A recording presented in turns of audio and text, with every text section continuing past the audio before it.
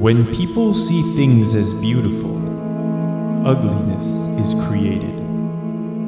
When people see things as good, evil is created. Being and non being produce each other. Difficult and easy complement each other. Long and short define each other.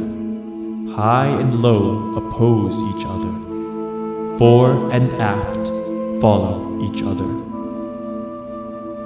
Therefore, the master can act without doing anything and teach without saying a word. Things come her way and she does not stop them. Things leave and she lets them go. She has without possessing and acts without any expectations. When her work is done, she takes no credit. That is why it will last forever.